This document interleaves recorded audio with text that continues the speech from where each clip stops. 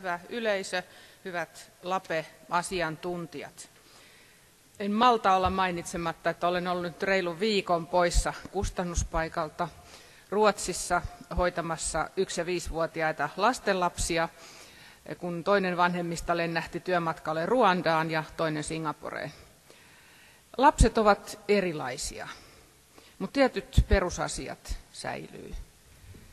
Se, että arki sujuu, se, että tuntee olonsa turvalliseksi, ne ovat ne tärkeimmät asiat. Mutta ne ajat ovat ohi, jolloin perheet ovat samanlaisia. Ja näillä sanoilla yritän johdatella teitä siihen vaikeaan aiheeseen, joka liittyy sote-uudistuksen tämänhetkiseen tilanteeseen. Ja se vaikeus tulee siitä, että me kaikki tiedämme, että juhlapuheiden aika on ohi, nyt ollaan konkretiassa. Ollaan konkretiassa sikäli, että ensimmäinen tähän uudistukseen liittyvä lainsäädäntöpaketti on itse asiassa astunut voimaan ensimmäinen ensimmäistä 17. Se liittyy päivystysuudistukseen, jossa on erittäin merkittäviä myös sosiaalihuoltolain uudistuksia. Seuraava paketti on eduskunnassa siellä on meidän puitelainsäädäntö, maakunta- ja sote-järjestämislaki ja 20 plus muuta lakia, jotka liittyvät siihen kokonaisuuteen 1003 sivua. Se on intensiivisessä valiokuntakäsittelyssä tällä hetkellä. Ja silloin pudotaan siihen, mitä tämä tarkoittaa käytännössä. Ja siinä samassa tilanteessa ollaan sen päivystysuudistuksen kanssa, kun tällä hetkellä mietimme ankarasti sen perusteella annettavia asetuksia. Ja sitten on tämä koko valinnanvapauskeskustelu, jonka jokainen omalta kohdaltansa varmasti on muodostanut siihen jonkun oman mielipiteensä. Tässä omassa esityksessäni ei ole mahdollisuutta linjata sitä, minkälainen tulee olemaan se valinnanvapaus hallituksen esitys, joka eduskunnalle annetaan. Me teemme tällä hetkellä virkamiehinä töitä sen eteen, että siitä esityksestä tulisi käytännössä toimeenpantava, poliittisesti hyväksyttävä ja perustuslain todennäköisesti mukainen. Näillä reunaehdoilla katsotaan pieni kurkistus tämänhetkisen sote-uudistuksen niin maailmaan. Sote-uudistuksen tavoitteet on niin kuin sanotettu monella eri tavalla. Ne hyvät eettiset periaatteet, jotka siellä taustalla ovat ja toimivaan palvelujärjestelmään liittyvät tavoitteet, joihin Suomi on myös kansainvälisissä sitoumuksissaan sitoutunut, eivät ole minnekään kadonneet. Mutta totuus on, että se reaaliprosessi, että kyseessä on myös taloudellinen toiminta, iso osa meidän elinkeinosektoria, joka rahoitetaan riskipuulausperiaatteella yhteisistä varoista suurimmaksi osaksi, niin tämän tosiasian tunnustaminen on tullut mukaan tähän valmisteluun tällä viimeisellä tuotantokierroksella ihan uudella painoarvolla.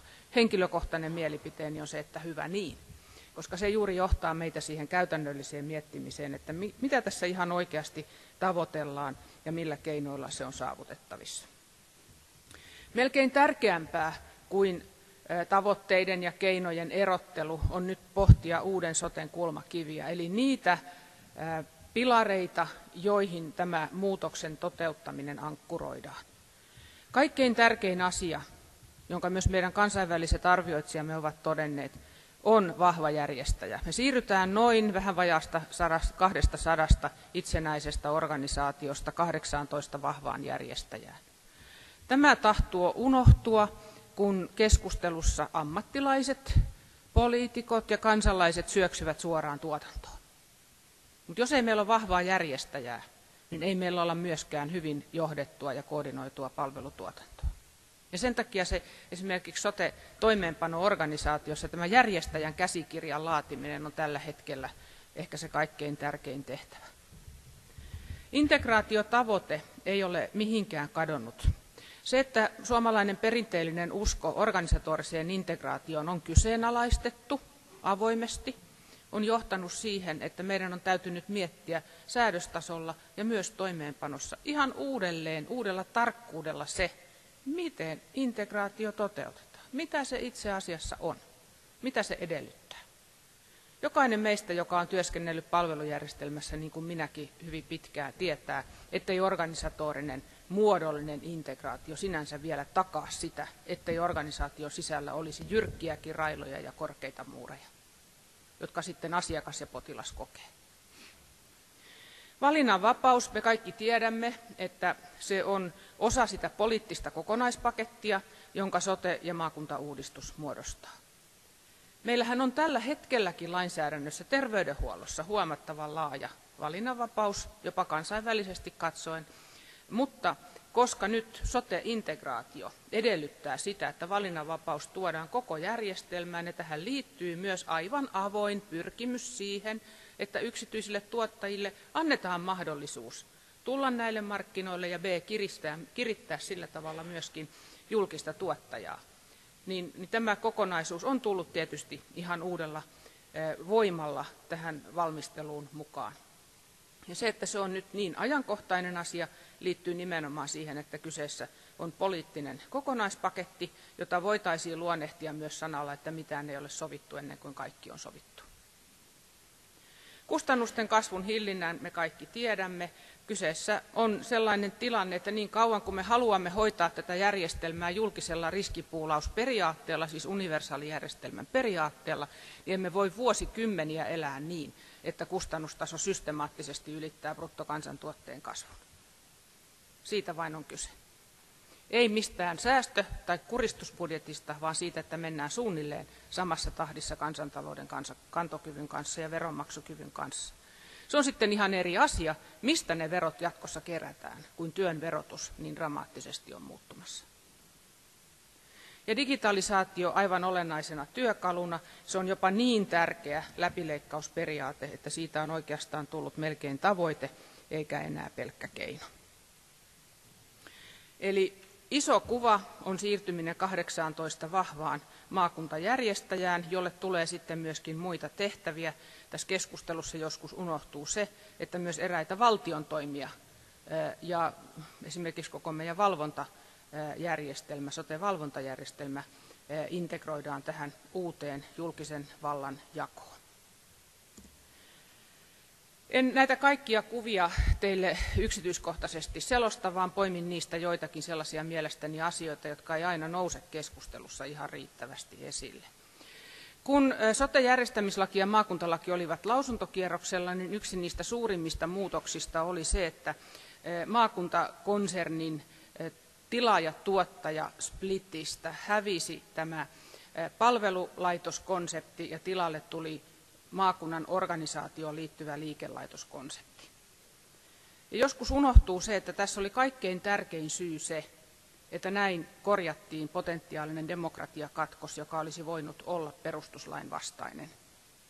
No eilen kuulin sitten kysymyksen, että johtaako tämä siihen, että liikelaitoksesta tuleekin ei ammatillisesti, vaan poliittisesti johdettu organisaatio. Näin ei ole tarkoitus, vaan tässä on edelleen tilaajatuottaja erotettu toisistaan. Mutta luonnollisesti sitten, eh, kun tämä on toisen asteen demokraattinen toimija, niin totta kai ylintä päätösvaltaa käyttävällä valtuustolla on kiinnostus siihen, miten oma palvelutuotanto oikeasti, miten sitä johdetaan, että sitä johdetaan ammattitaitoisesti ja pätevästi. Toinen iso asia eh, huomattavaksi tässä on se, että jokaisella toimialalla on yksi liikelaitos per maakunta. Se on se muoto, jossa tämä esitys lähti eduskuntaan. Ja sitten ihan uudella tavalla asukkaiden vaikutusmahdollisuudet muutenkin kuin äänestämällä on kirjattu lakiin. Ja siellä on paljon erilaisia keinoja ihan laissakin lueteltuna. Tämä on yksi kaikkien aikojen suurimpia henkilöstön siirtoja, ylipäänsä suurimpia uudistuksia, mitä organisaatio julkisen vallan tasolla Suomessa on tehty ainakin itsenäisyyden aikana. Henkilöstön asema on vasta nyt nousemassa ehkä enemmän keskusteluun. Tähän on juuri nimitetty tämmöinen seurantaryhmä. Noin 200 000 ihmistä siirtyy liikkeen luovutusperiaatteella toisen työnantajan palvelukseen. Ja nyt sitten riippuu täysin siitä yhtiöittämispakosta ja lopullisesta valinnanvapausmallista, minkälainen toinen aalto tai minkälainen dynamiikka sitten myöhemmin syntyy henkilöstölle. Enkä mene nyt siihen tässä yhteydessä enempää. Rahoitus, tämä on myöskin valtava verotusuudistus ja tarkoittaa nyt sitä niin pääpiirteissään, että suurin osa rahoituksesta jo nyt siirtyy valtion operoimaksi. Myöhemmin monikanavarahoitusuudistus tuo sitten vielä lisää niitä tulovirtoja valtion operoitavaksi ja maakunnille pääsääntöisesti ei korvamerkittynä annettavaksi. Suurin osa maakuntien rahoituksesta määräytyy ikä- ja palvelutarverakenteiden perusteella. Ikä on se ylivoimaisesti kaikkein suurin, ikärakenne ylivoimaisesti kaikkein suurin määrääjä. Ja tähän on herättänyt paljon keskustelua, koska verrattuna esimerkiksi nykyisten eh, vastaavien alueiden rahoitukseen tässä tulee aika suuria siirtymiä. Tämä on muutenkin sellainen uudistus, että kaikki eivät voi voittaa. Aina on joku, joka vähän kokee häviävänsä. Mutta perusperiaate on se, että katsotaan maata kokonaisuutena. Yritetään olla mahdollisimman yhdenvertaisia ja oikeudenmukaisia.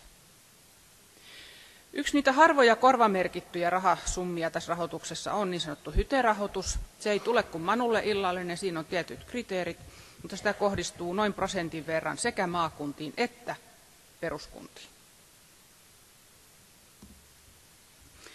No palvelutuotanto, johon tuossa jo alussa viittasin, on se, mikä niin kuin nyt jotenkin draivaa, ajaa tätä keskustelua. Se on tietysti hirveän ymmärrettävää, koska se tulee sitten lähelle sitä arkea. Ja sehän on se asia, missä on paljon Lapenkin yhteydessä keskusteltu. On saanut meidän virkamiesten kanssa keskustella siitä, että miten yhteen sovitetaan sote-uudistuksen eh, ideat palvelutuotannosta ja sitten toisaalta hallituksen kärkihankkeissa, ehkä aivan erityisesti juuri Lapessa – syntynyt näkemys siitä, mitä olisi hyvä palvelutuotanto. Tässä ovat ne tärkeimmät palvelutuotantoa koskevat ehdotukset.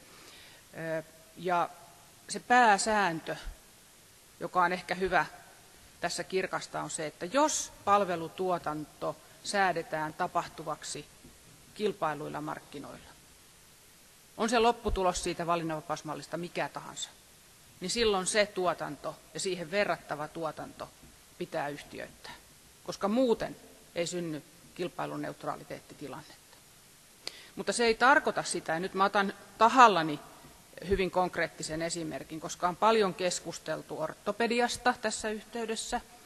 Endoproteesikirurgia on tämmöinen oikein tyyppikeis, että jos käy niin, että kiireetön endoproteesikirurgia olisikin sellainen, joka olisi hankittava markkinoilta. Se ei tarkoita sitä, että päivystys, lonkkaleikkaukset olisi myös yhtiöitettävä. Mutta tällä tasolla tämä keskustelu tällä hetkellä on. No sitten kun tässä tätä palvelujärjestelmää niin kuin perusteellisesti uudelleen organisoidaan, niin on ollut erilaisia tapoja ryhmitellä palveluita. Ja nämä heijastelee erilaisia näkemyksiä siitä, mikä olisi paras tapa integraation toteuttamiseksi. Tämä on vähän vanhempi kuva, mutta näytän tätä ihan tahallani sen takia, että on ollut monenlaisia tapoja miettiä tätä.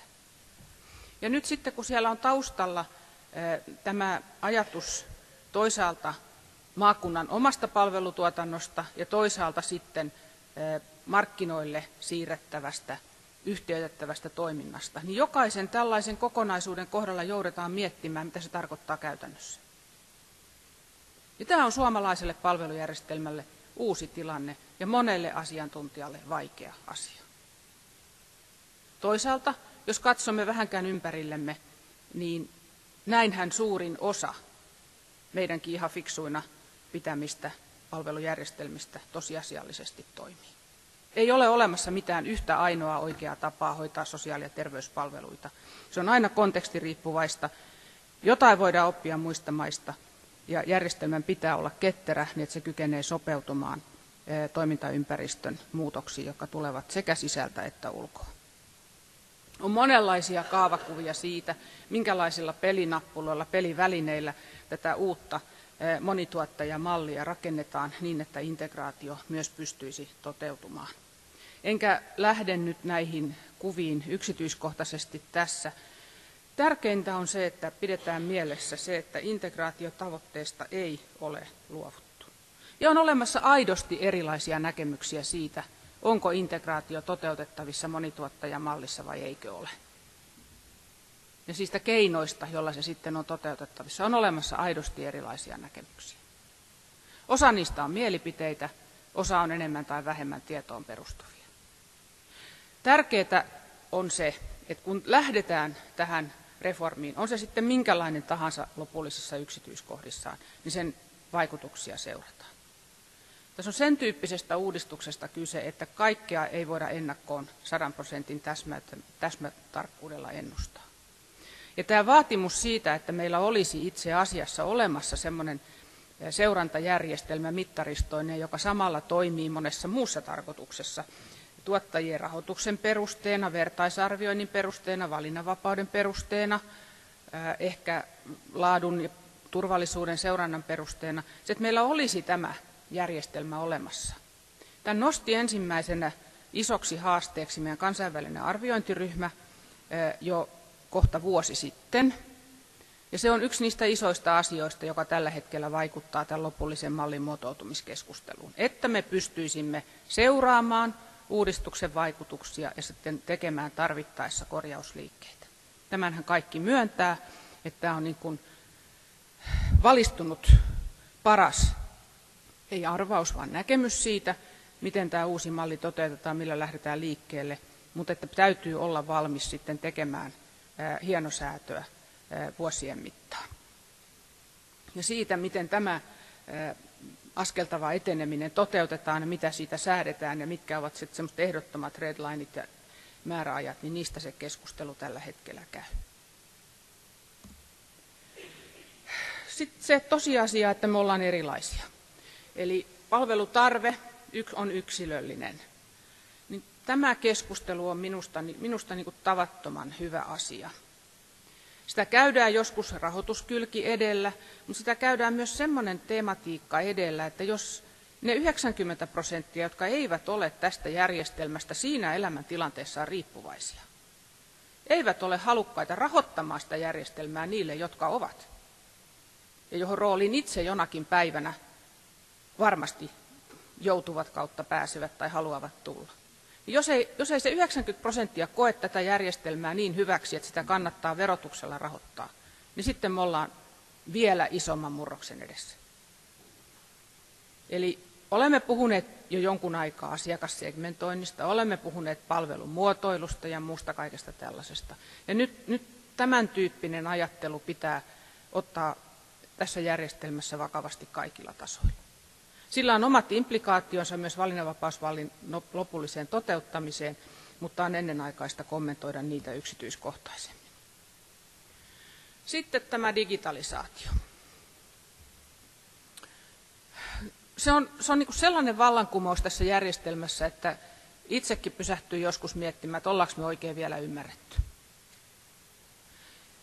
Kun tämä diginatiivi sukupolvi tulee palveluiden suurkuluttaja ikään, se alkaa kohta olla – niin eihän se muuhun suostu. Jos tässä maassa voi hoitaa pankkiasiansa, veroasiansa, suuren määrän hankinnoistansa digitaalisesti, niin miksi sote-palveluiden käyttömukavuuden pitäisi olla olennaisesti huonompi? Tämä kysymys tehtiin eilen esimerkiksi STMn uuden strategian keskustelutilaisuudessa. Se tuli ulkopuoliselta asiantuntijalta. Meidän palvelut eivät ole kovin käyttömukavia. Digitalisaatio on siinä yksi iso työkalu, enkä ollenkaan väheksy sitä, että meillä tulee aina olemaan se tarve, jossa asiantuntija tai tiimi kohtaa asiakkaan. Meillä tulee aina olemaan tarve koskettaa asiakasta ja potilasta. Osa meidän puuhasta on käsityöammattia edelleenkin jatkossa.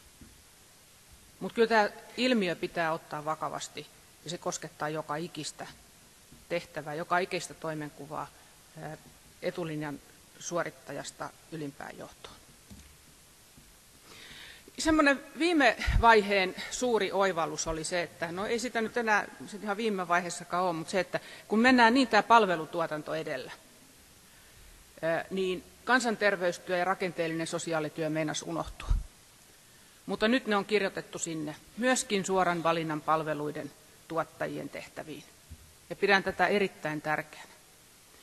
Kansanterveystyöhön on ainakin olemassa ihan kansainvälisiä checklistoja ja meidän pitää ne käydä läpi ja katsoa, että yksikään niistä tehtävistä ei jää tässä uudistuksessa väliinputoajan asemaan. Valinnanvapaudesta, kuten sanoin, ei ole tässä vaiheessa mahdollista kertoa mitään yksityiskohtaista lopullista tulosta. Nämä perusperiaatteet ovat ennen kaikkea se, että valinnanvapaus toteutuu sellaisena kuin nytkin, mutta sitä laajennetaan erityisesti peruspalveluissa palvelun tuottajan valintaan. Siitä tulee notkeampaa kuin se tällä hetkellä on. Kaikkein tärkeintä tässä valinnanvapauskeskustelussa on muistaa se taas se järjestäminen. Että oli se valinnanvapausjärjestelmä mikä tahansa, niin se perimmäinen vastuu on sillä maakunnalla siitä, että nämä palikat saadaan pelittämään yhteen. Ja tottahan se on, että viime kädessä sitten siitä vastaa valtio. Hyvinvoinnin edistäminen. Tässä vaiheessa rupesin katsomaan näitä kuvia. Mä rupesin, mitä näistä niin kuin ihan oikeasti saa konkreettisesti irti. Ja kirjoitinkin tähän kohtaan hyvinvoinnin ja terveyden edistämisestä, josta meillä on kyllä paljon materiaalia, paljon sanoja. Sellaisen ajatuksen, joka tuli eilen siellä strategiakoontitilaisuudessa, että me tarvitaan kolmenlaista lähestymistä, jos me ihan oikeasti halutaan väestön työ- ja toimintakykyä turvata. Elintapakulttuuri, joka opitaan pitkälti lapsena ja nuorena. Regulaatio, esimerkiksi hintapolitiikka, verotuspolitiikka, saatavuuspolitiikka ja kolmantena näiden hyvien valintojen tekeminen helpoksi. Mä ihan oikeasti toivon, että me aletaan jotenkin konkretisoimaan, mitä hyvinvoinnin ja terveyden edistäminen tulee tässä uudessa järjestelmässä olemaan. Ja se ei ole pelkästään sote-sektorin asia. Me keskustellaan paljon maakunnan, sen sote-liikelaitoksen kunnan välisestä yhteydestä. Itse pidän esimerkiksi mediaa erittäin tärkeänä toimijana tässä.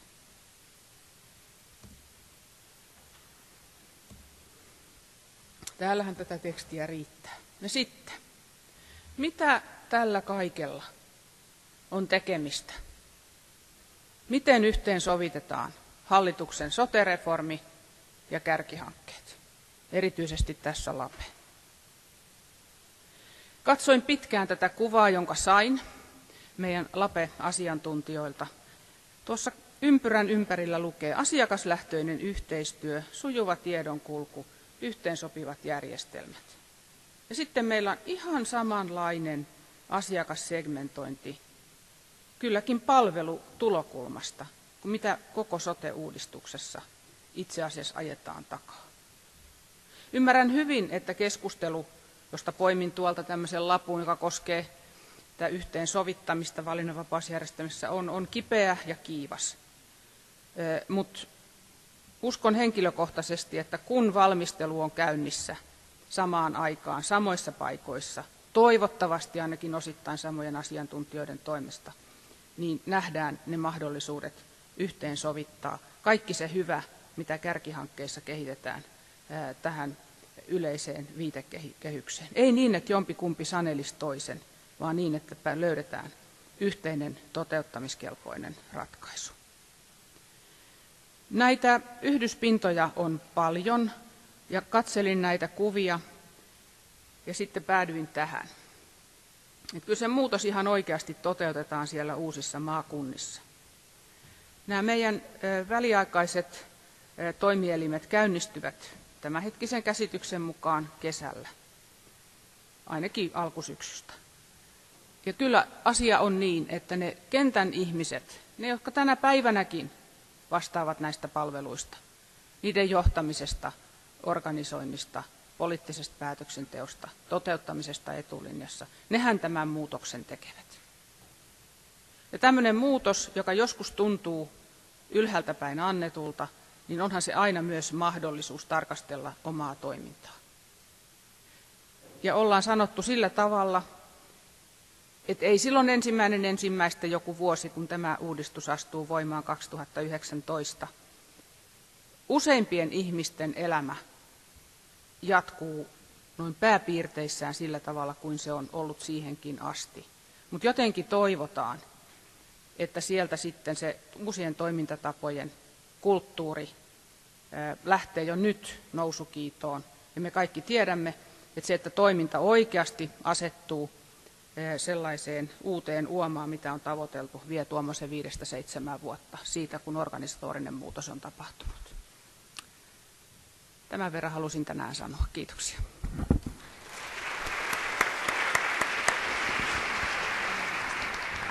Kiitoksia.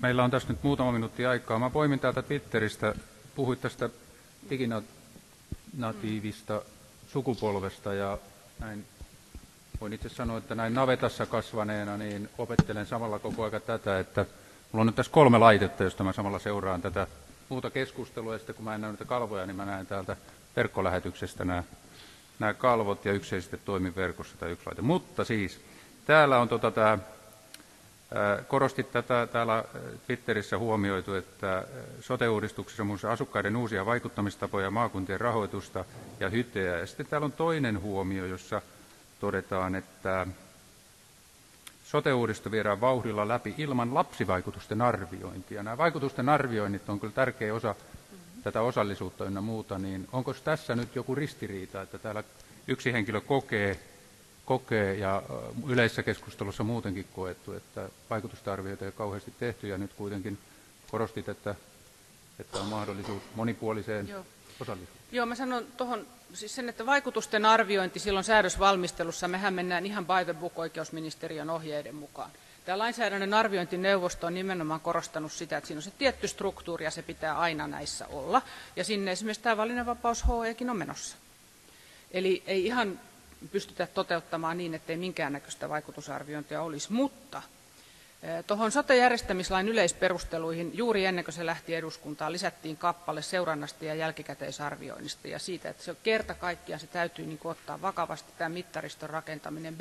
Se ei onnistu nykyiselle niin kuin rakenteella, vaan meidän täytyy saada siihen valtakunnan kaikki tutkijavoimat liikkeelle. Ja tässä on niin vakava vetomus myös meidän ammattikorkeakouluille ja yliopistoille tutkimuslaitoksille, että ne kiinnostuisivat tästä asiasta ja tulisivat mukaan tähän yhteiseen hankkeeseen, jota kustannusvaikuttavuusvalmisteluryhmässä valmistellaan.